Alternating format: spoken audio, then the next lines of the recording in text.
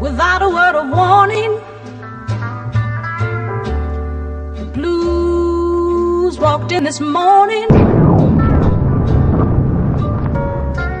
I didn't know why I had that sad and lonely feeling and circled around my lonely room, circled around.